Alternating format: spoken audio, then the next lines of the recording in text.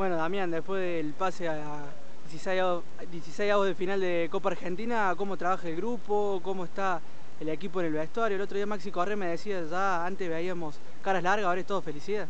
Sí, bueno, contento, ¿no? Por el triunfo que obtuvimos contra, contra Belgrano, sabemos que, que es muy importante, pero bueno, también sabemos que el día después de ese partido ya tuvimos que pensar en, en Santa Marina Tandil, ¿no? Sabemos que, que, es así, cuando uno por ahí venía mal, una racha mala, esperaba jugar al día siguiente, ahora sabemos que, que jugamos bastante seguido, así que contento porque teníamos que, que, conseguir un triunfo, así que esperemos que, que el partido contra el verano sirva hormigón para, para lo que queda del torneo. ¿Cuesta despegarse de lo que pasó el miércoles? Por ahí dormir el otro día debe haber sido imposible por toda la excitación que lleva. Eh, bueno, sabemos bien que, que, era un partido muy importante, un clásico, se jugaban muchas cosas y, y bueno, siempre es, es, bueno ganar esos partidos, ¿no? El día después por ahí se hizo un poco, un poco complicado y, y bueno, la verdad que, que muy contento por la, por la, victoria que obtuvimos, pero, pero bueno, como te decía recién, ya el otro día tuvimos que volver a entrenar y, y ya mentalizarnos el, el lunes lo que, lo que queda de Santa María Tandil. Hay que tomar como ejemplo lo que pasó con Belgrano porque por ahí fue un equipo más aguerrido de lo que se veía viendo en el torneo.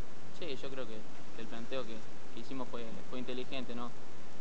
Estuvimos muy ordenados durante todos los 90 minutos, sabíamos que el partido iba a ser trabado, los conocíamos muy bien ellos, la estructura siempre juegan de la misma manera, sabíamos que el partido iba a ser muy peleado, que se iba a definir por detalles, y así fue, ¿no? Por ahí pocas situaciones de, gol de, cada lado, pero muy friccionado y muy trabado. Este, así que, el partido se, en los 90 minutos no, hubo goles para ninguno de los dos lados y, fuimos penales y tenemos la suerte de tener un gran arquero que por suerte. Ahora con el torneo va a ser diferente porque creo que Instituto va a tener que tomar el protagonismo. ¿Cómo lo toman ustedes? Bien, bien, sabemos que de la primera fecha nosotros tenemos que ser protagonistas, tenemos que ir a ganar a todas las canchas, también somos conscientes que no, no, no nos está yendo muy bien el torneo, entonces esperemos que, que este envío que, que, agarramos contra Belgrano nos sirva para el torneo para conseguir una victoria. Por ahí, como dijiste, en el partido fue 0-0, pero se logró el triunfo. ¿Por ahí crees que la falencia, la mayor falencia del equipo está haciendo la falta de gol? Yo creo que por ahí, momento malo en, que estamos pasando, no, no, no poder concretar la situación de gol que tenemos, por ahí los partidos en los que no han convertido, los rivales llegan dos o tres veces y no convierten, son efectivos y, bueno, por ahí estamos en esos días que no, no la podemos meter, ¿no?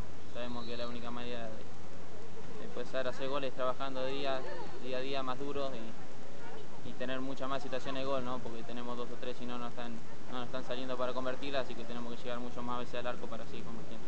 ¿Cuáles van a ser las armas de instituto para poder traerse los tres puntos del lunes en Tandil? Creo que sabiendo que, que, hicimos un buen partido contra Belgrano, pero no, no nos tenemos que relajar, no, no éramos ni los peores cuando veníamos perdiendo ni somos los mejores ahora que ganamos con Belgrano.